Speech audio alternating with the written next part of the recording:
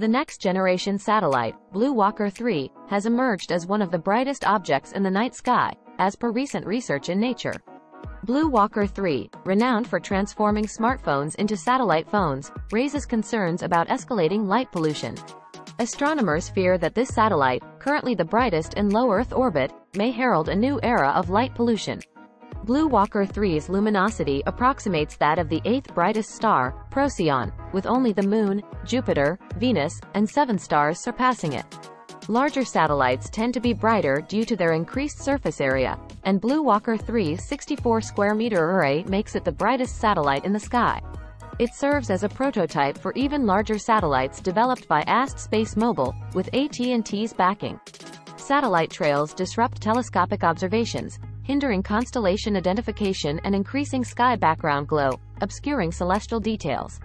Increased night brightness adversely affects wildlife, particularly star-navigating birds, and diminishes the cultural and spiritual value of stargazing.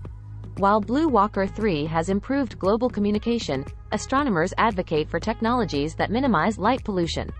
They suggest design modifications by companies and potential regulatory assessments of satellites' nocturnal impact before launch. Thanks for watching.